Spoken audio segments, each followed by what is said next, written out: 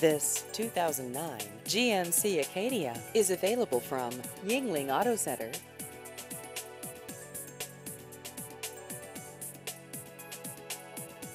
This vehicle has just over 64,000 miles.